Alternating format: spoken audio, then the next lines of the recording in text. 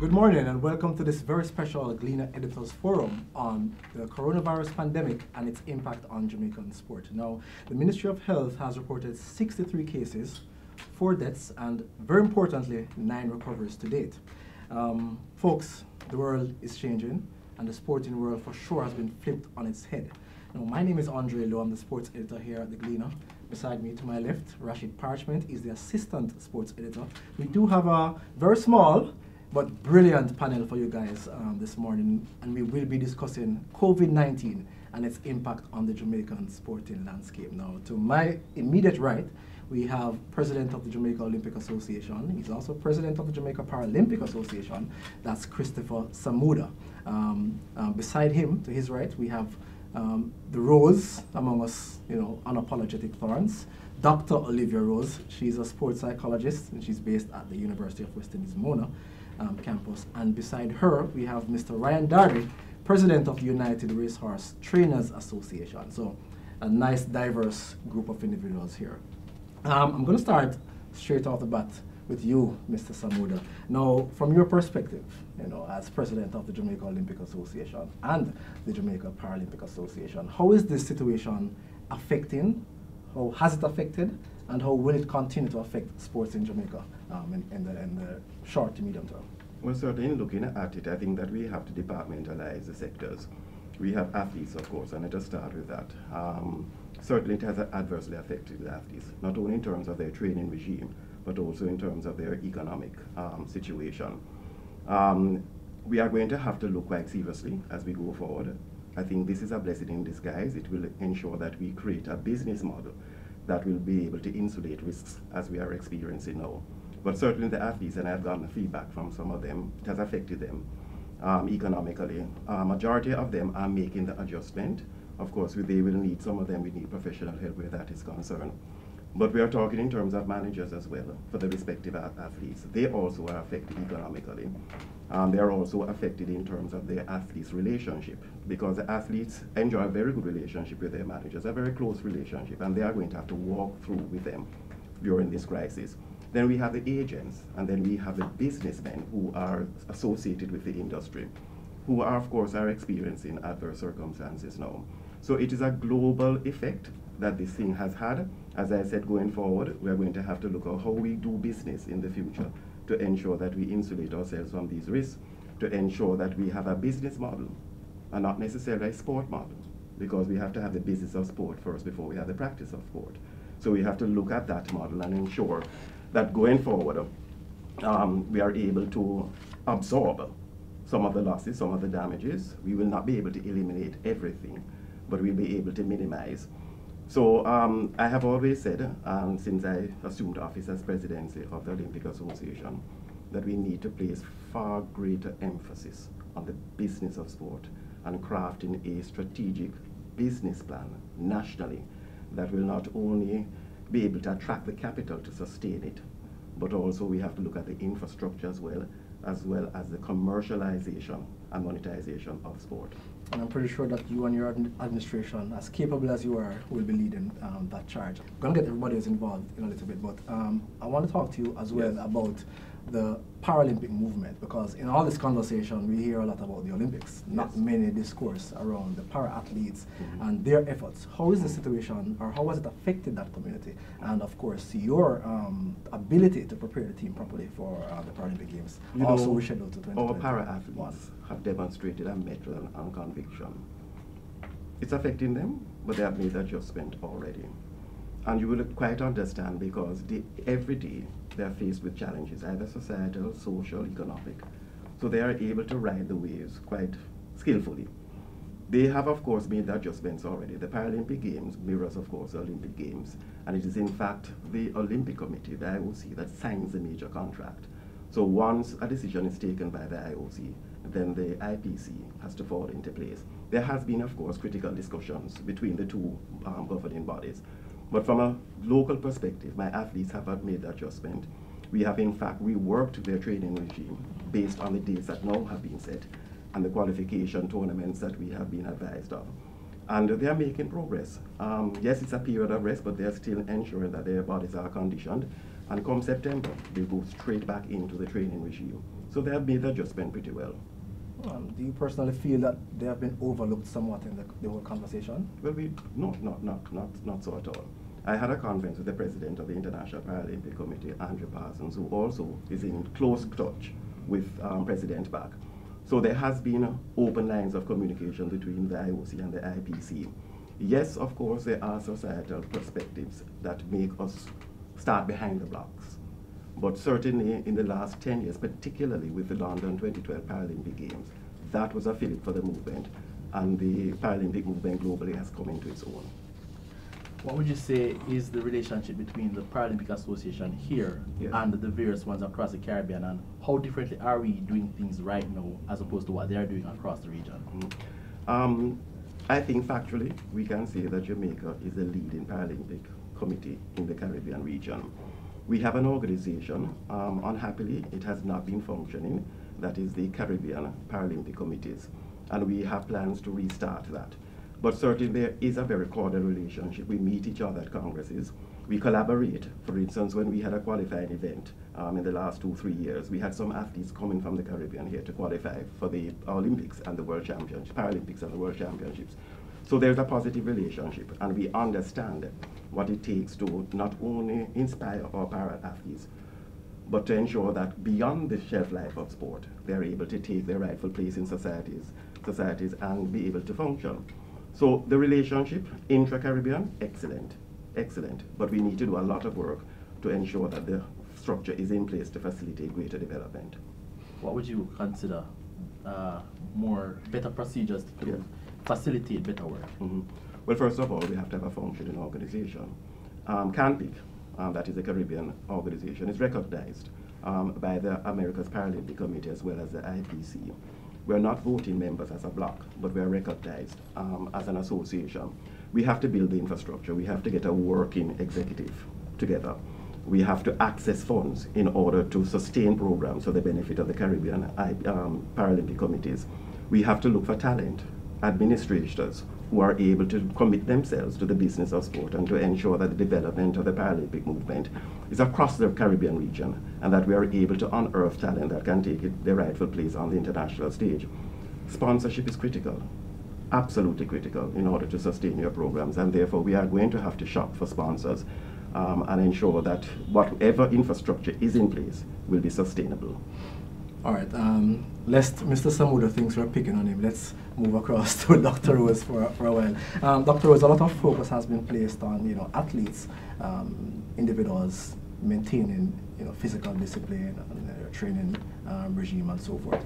Do you believe that enough attention is being placed on how we prepare ourselves mentally for this situation? To an extent, uh, there has been, you know, enough emphasis on how athletes should be coping at this time. However, more emphasis needs to be placed on the different support providers in the sport industry and these include a whole host of other stakeholders which some in some instances athletes would make up a part of that but it also includes coaches um, officials sports administrators every profession that would have sports in front of it including sports psychologists sports nutritionists physiotherapists all the sports journalists. How could I forget, right?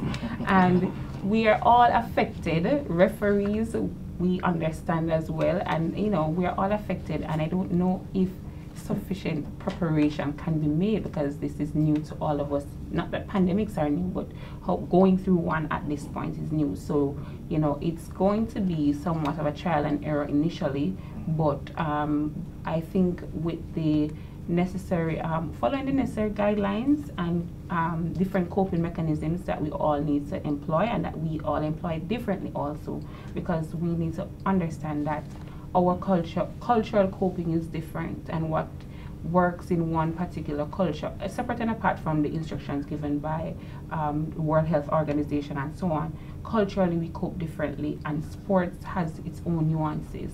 I remembered in an article recently by I think Dalton Myers, um, athletes don't work indoors. We don't necessarily work indoors. So, you know, some persons can make that adjustment smoother than others, and for some it's a bit challenging. Some would have attested to being bored, um, not knowing what to do with all this new free time. and it ranges not just from athletes but coaches to um, sports administrators, sports journalists, and, and, a whole gamut of other professionals in the in the industry. So I don't think we are sufficiently prepared for something like this because what would have happened is that, you know, a, a, a situation such as a pandemic lasts for a very long period. You know, normally we can get over um, chronic stress for, or acute stress, sorry, in a, in a shorter period of time. But what's happening now is a bit extended. So this will tax our mental strength and our resilience will be in, in question. And you know, it may affect people both positively and negatively. You will have probably some athletes um, rising out of this challenging situation in, in, in positive light. Some will become um, warriors to winners and the reverse can happen you know so it really depends on how able how they're able to cope individually and collectively and to know that we're all in this together now clearly you are concerned about the ability of some athletes to cope mentally at this difficult period some may disagree with you and say that there are athletes who are mentally strong so it doesn't affect them that much but is it that there that one of the problems with sports psychology, psychology in Jamaica is that there are some who take a one-size-fits-all approach to it, and that hampers the work you're trying to do. I'm very happy you mentioned that because during a pandemic, especially one after COVID-19, who doesn't need a sports psychologist?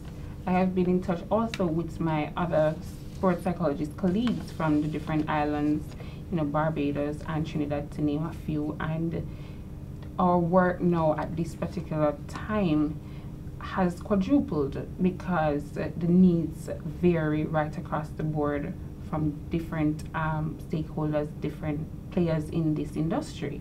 And if we look at how we perceive health culturally, has some remnants of our colonial past.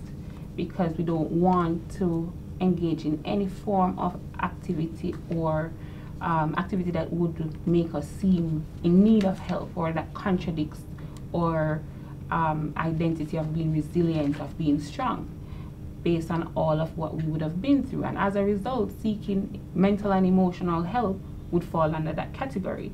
However, to say a one size fits all and that all athletes are, or most athletes are mentally strong, um, is a very um, erroneous impression and we are all having difficulties in various ways because we need to remember too that many athletes have relatives who live overseas. So it's not just the immediate person in front of you. We have athletes who have families in areas that have high rates of the pandemic and high death rates as well. So we and some of them provide um, income to their families. So we're all affected in, in various ways. So to say that, you know, you can cope because you you are used to having a loss or you would have to come back from a defeat in a in a particular event is completely different from coping in an for an extended period during a pandemic. So we definitely cannot take the one size approach to how this um, how we are gonna cope through this season, and um, and I will still continue to encourage um, persons to monitor their psychological health and um, check in as much as possible. And I am still going to implore and ask for greater support in um, psychologists providing the kind of support that's needed to all the stakeholders in the sports industry, but not just the sports industry. Um, currently, we have the president of the Jamaica Psychological Society uh, and a group of 40 psychologists volunteering to provide psychological and emotional support for um, our frontline healthcare providers. And this is the kind of um, support that's very essential at this particular time. All right, I'm gonna bring bring in Mr. Darby, and um, of course, mask at hand. And I, I just want to pause to just thank everybody on the panel for, for being here um, in this climate to discuss what we know is a, a very important topic. Mr. Darby, of course, horse racing is considered the sport of kings, but the situation is threatening to make paupers out of many um, in the industry. Generally, how is the, the industry, its stakeholders, coping with the situation? To start off with sport of king and paupers because we need to get rid of this sport of king mentality. Racing is operated by majority hard-working people who are in an economical crisis at this point. Unlike, well, let us go abroad. The whole world is in a crisis, stock market, economic crisis. Unlike any other manufacturing plant, you can turn the brake off and you, you, you, you send home your staff on three months no pay leave. So you cut your, you cut your, your production um, expenditure by 90%. Horse racing only get money by running. And with no race running, we have zero opportunity of earning. But the, the, the notion of sport of king came from because it's an expensive sport. But what you would have is that the horse should be earning some form of income and you be and you would uh, um, put the rest if it needs to be. With zero income now, we're going to be in an economic crisis and we cannot cut the maintenance of the horses uh, much more. It's average at $18 million per week. $18 million per week to operate to keep the horses. Between the owner and the trainers, that's what it costs us. We have bring it down into a maintenance mode just of survival and the minimum we could reach is $12 million and that is minimum care per week with zero income. So we are we are we have uh, written to the, the minister, we have written to various uh, authorities, racing commission, and I can tell you it's minim the, the response have been minimum so far. And I, and I want to describe the same notion of sport of king or rich people sport. But we are desperately crying for help, and it's necessary for some intervention to take place now. But of all the things I can safely say that Supreme uh, Feed is the one person that has offered some form of support. Mine are maybe not very great, but one support so far up to this point. But as I said, we are in an economic crisis. I remember racing affects the 14 parishes employment. A lot of things into racing as a business aspect of it. You know, we have OTB, 14 parishes across it. So, so the, the, the unemployment uh, will, will, will affect 14 parishes, not just uh, St. Catherine and Caymanas Park. So it's, it's bad time for everybody. Fair to say that you would have preferred a, a different approach to the complete closure of Caymanas Park? Uh, I think I think uh, Supreme Ventures uh, uh, went closed a little bit too early. But at this present point, I think we need to watch uh, the spread of the, the, thing because a life is going to be the ultimate uh, factor. So at this point, we're going to need to look at, at the, the rate of the spread, the, the, the risk factors, and all of that before we can even consider and open it back. But I was saying, at 12 million a week with zero income, you're still going to have the Prime Minister said, you're going to try and balance because after COVID, there'll be life. Who's, who's alive, that is. Uh, 12 million represents the entire horse population, right? That, at Caymanas Park, we're not talking about the farms and mm. other the other entities. So reason why it's continue to branch off as you go along. Uh, we, have, we have quite a few farms with millions of dollars of production, but we are talking about the plant itself. I, I know Rashid wants, wants to come in, but just, just one more question. Um, how long do you think the, the owners and trainers could sustain this, you know, this current spend? I'm sure we can't go much longer, you know. As I said, we're, uh, we're resilient. Uh, we will, I guess people will adjust and, and, and, and, and hang on as long as possible. But as I said, at some point uh, you will have uh, people falling by the wayside. And there's going to be a lot of, a, lot of fallouts and, and things, in, as I said, with the whole economic uh, climate, you know. So we're going to expect that as well. So as I said, we'll go along and, and survive as long as possible. As I said, we just need to stay alive that when this is done, we can rebuild. Now, um, are the grooms being considered in this in terms of preparing them for what may come? Because we still don't know what is how long we have to ride this out. Are there any welfare programs being discussed up to take care of the grooms? Uh, well, we, we have been discussing. We have we have we have like 100 meetings since the last uh, three weeks. So we have discussed every factor of racing run, uh, financial, um, the health care, the uh, workers' health care including grooms, the trainers. But at this point, the groom is least affected so far. Because I said the horses need to be maintained, the horses need to be looked after. I said they, they kind of leave them, you know. Yeah. So the operation has scaled down a bit, but it's, it, it, it still need grooms to angle them, it still need uh, the, the feeding operation, the grass, everything is the same. It's just that they cut the exercise program, they might cut the feeding a little bit because them don't need that, the amount of energy for, for that them need for racing. But all that happened that we scale it down a little bit. But in the long term, uh, as I said, we'll be looking at ways to, to how we'll, we'll move forward because it's going to be difficult to sustain uh, this amount of loss for a sustained uh, period of time. I'm glad you mentioned the horses because recently we heard of a tiger catching COVID 19 at the Bronx Zoo. So it means that COVID is not necessarily limited to just humans, but maybe other, other species other than humans and feline. But are there any plans or any measures in place to protect the horses at this time? Uh, not not directly, not not offhand that we have a plan. We are hoping that it not continues to horses. Uh, Belmont, I think Belmont Aqueduct, one of New York tracks, but that had a lot of cases on the track. Uh, there wasn't any, any carryover from uh, person to horses so far. So we keep our fingers crossed that that will remain. But as I said, they, they, they, we, are, we are doing everything we can with the resources that we have. But as I said, they're, they're limited to what we could be able to do if, if, if it can be transferred to us, more than a person as quarantine, which is what we are doing, trying to do now. All right. Sir Samuda, this Olympic postponement, um, how is it affecting the JOA's coffers? Mm -hmm. Minimal. Minimal. Um, we have instituted a business model that um, will insulate us from risks, um, as any good organization would do. Um, we have our contractual obligations that we have to fulfill, but in contracting, we ensure that in situations such as this, we are able to release, be released from the contracts. The expense has been minimal.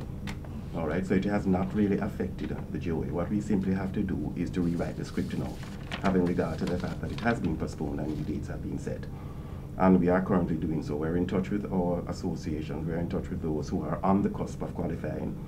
We are in touch with the international federations, who are, of course, in collaboration with the IOC, will now establish the new um, dates for the tournaments and so forth. And um, monies that were committed, we will um, on, um, commitments that were um, made, we would honor. And certainly going forward, um, once we are able to meet as a group, then we will do so and then unveil, of course, of the strategy that will, of course, redound to their benefit for next year. But the associations have indicated that they are keeping their athletes, keeping their managers well informed. A lot of information is coming out from the IOC and the IPC, and um, that is very good because when you keep people informed, they get a sense of, of comfort and understanding. So the JOA happily has not been seriously affected at all by this. Um, do you think that the decision to postpone the Olympics, I mean, we all saw what was happening um, in many parts of the world. And so many things revolve around the Olympic Games itself. Do you believe that decision came a little bit too late?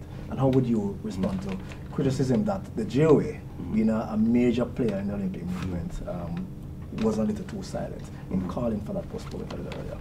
No, absolutely. You have to look at the factors as they existed then. Um, when we were advised by the IOC in a teleconf teleconference with President Bach, he indicated that he is awaiting uncertain advice from the um, WHO and other professionals. Um, you can always look back and say you should have taken the decision one week, two weeks earlier. All right, but at the time, you have to base your position on the facts that are presented to you. The JOA certainly was not silent. We, in fact, indicated from the very get-go that we will rely on the professional advice of the experts. We will rely on the advice given by the IOC. Because if the IOC had taken a decision, although we may have said, look, we are not going to participate, it would have been a decision taken by them and some would have to fall in line. But certainly from a time factor, I don't think that we were off the mark at all. As a matter of fact, we said from the very get-go that a decision has to be made quickly. But what you need to do is to ensure that you have all the facts that govern the situation so that when you do make the decision, it will be informed and it will be a win-win situation for all. Um, when you are in the belly of the whale and you realize the risks that are involved, economic, social, and otherwise, and psychological, you're instinctively are not going to jump and make the decision. Particularly if you are going to be relying, as I say, on the experts. And for that reason, yes, the IOC could have made the decision earlier, but I quite understand at the time what factors were in fact um, governing their decision, and therefore I would not really hold them to say that you ought to, and as a result of that, there have been deleterious circumstances that have arisen. Another quick one before Rashid gets in. Um, Mhm. I know you do have uh, a very wide-reaching Olympic Yes. Solidarity Fund. Yes. But is the JOA considering or Mhm. in a position to offer additional assistance to athletes who, of Mhm. course, uh, would find themselves in a position now with you know a loss of revenue? Mhm. Um, one has to be very careful. We have helped athletes in the past, and we have, of course, offered through the Olympic Solidarity um, movement scholarships that have assisted them. But we have to be very careful because although I've said repeatedly, Mr. Lowe, that we're not an ATM machine, but you can bank on us and we're bankable. But we're not an ATM machine. And therefore, we operate with a very limited budget, which is primarily devoted to the development of the sport and not necessarily an individual. So we have to be very careful from a policy point of view that we do not pursue that. And then uh, a team sport is left without any funding to qualify for the Olympics. Um, so we have to strike a balance. We're not insensitive, of course, to the needs of our athletes, and we have in fact satisfied some of those needs. But we have, as policymakers, have to be very careful that we do not create precedents that come back to haunt us, and then people, of course, blame us for the indiscretion. Just quickly, you mentioned uh, sponsorship earlier and club and sporting associations seeking sponsorship, but there has been thought that after all this with the pandemic, we may be facing a global economic recession. Yes. What does that mean for the smaller sporting associations who already struggle to seek sponsorship, and what it may mean a recession may mean for them in getting more funding on board? It's going to be difficult, and this is why I say um, that we have to look at something of a more permanent fix. What we have been saying to our associations, difficult as it may appear to be them, you have to become self-sufficient in the circumstances. We know that we will have to fund you, and we will do so based on merit, because we say our funding is based on meritocracy. We will do so, but any organization would want to know that in the next five years, um, assistance from the JOA would only occupy perhaps 25% of their budget. Because sport is becoming very expensive, and the expenses outstripping the revenue that is coming in. And this is why we have to look in terms of a national sport business plan, which, of course, as I indicate, would have would attract the capital necessary in order to support the infrastructure and support um, athletes and support stakeholders in crises such as this. All right. Um, thank you, sir. Dr. Rose, um, for an athlete, you know, fully invested in competing this year, right, and putting all their efforts towards those targets, and we only have a few minutes left. But how, how, from your, you know, um, perspective and your expertise, how would you um, advise them, you know, to get back to a place, you know, for, you know, I guess refinding or refocusing um, their targets? How difficult is that a challenge for them? This is a difficult challenge for athletes and just generally for all of us involved because the uh, lockdown has and has uh, problems where you can have marathons with your thoughts. You know, you are alone with your thoughts and possibly with yourself for some people, and therefore the journey with these self-thoughts need to really be positive. And it's important, even before we talk about being positive and hopeful, that you're self aware of your own coping mechanism. Are you the over researcher? Are you the one that's panicking? Are you stuck in the fear zone? Are you growing through this? Are you innovating new ways to learn and to develop your craft? Because a huge concern for many of the athletes is that they may be losing their skill and their talents and so on. And that's a that's a possibility because you know um, the, the, their preparation requires practice and improvement in order for them to to master certain skills. However, during this time, we are more encouraged to use the moment to reflect. We um, watch over some of the videos that you would have had based on your performance if they were good. How can you repeat those? If they were not so good, what are the areas for improvement for all areas? Because even the officials can do some of this based on the, the coverage that they would have had of some of the video clippings. Uh, also have a routine. You know, do this is that don't the days go by real quickly. I don't know if you are noticing uh, for those persons who are home, the, the days actually do go by and don't want to be unproductive. This is a time also that will test your mental fortitude because you will receive, and some, some athletes have been receiving their training programs from their physical trainers and coaches The only thing is that they don't have their teammates um, around them to, to do it, or some of them do in terms of if if they are virtual training sessions, but others don't. And therefore, if you're given a program, it's going to require a lot of discipline to ensure that you do what is asked of you. Or there are some athletes who may not be as concerned either during this time because some of them are um, nursing injuries and uh, are using the time to heal and recuperate to come back again. So it's all it's, it's definitely going to be based on the particular cases and how well they are able to withstand the times, keeping a positive attitude and monitoring their mental health, their um, having routines and staying socially connected while physically distancing themselves. Thank you, Dr. Rose. My final question, uh, and we're basically out of time. Um, Sir Darby, what kind of support would you like to see from the industry's top brass, you know, be it SVRL or the government itself, or, um, the JRC, BGLC? Financial support, because I said uh, we're looking at the nearest possible time to reinstate racing. So we want to do it at the safest, closest possible time, and I guess that will be, depend on the, the, the continued rise or fall of the virus. Uh, but at this point, we will need financial support to help sustain and carry us through that we can that racing don't die. All right. Quickly, President and Dr. was final word.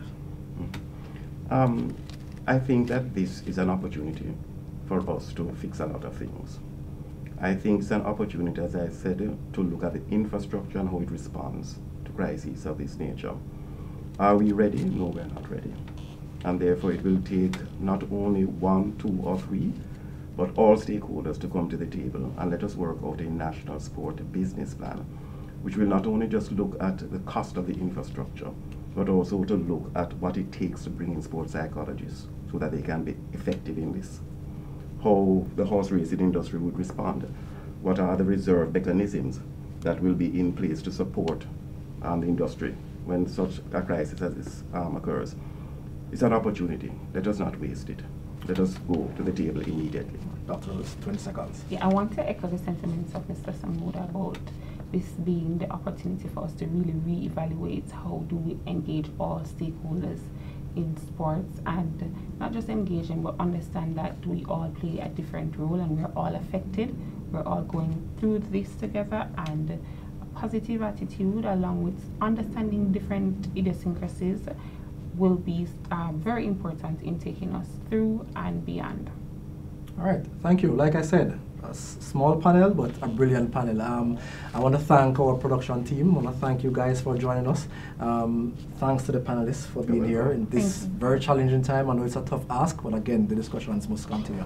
Um, guys, please note that um, Television Jamaica, they will be having their um, virtual sports town hall tonight at 8.30. Again, thank you very much for joining us. It's just the first, many more to come as we continue to discuss um, COVID 19 and its impact on the Jamaican sporting landscape. Thank you very much.